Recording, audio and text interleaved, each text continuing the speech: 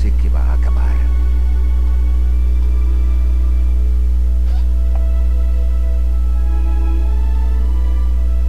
Al enemigo le queda muy poco espíritu combativo.